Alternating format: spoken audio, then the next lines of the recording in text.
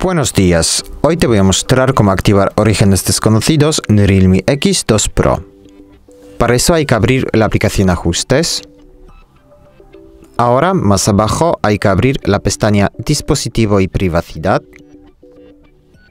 Y aquí pulsamos Permiso para instalar aplicaciones de orígenes desconocidos. Y aquí podemos dar permiso a cualquier aplicación, por ejemplo a Google Chrome. Hay que simplemente pulsar aquí pulsar permitir y ya está. Muchas gracias por ver el vídeo. Te invito a dejar un comentario abajo y a suscribirte al canal. Hasta luego.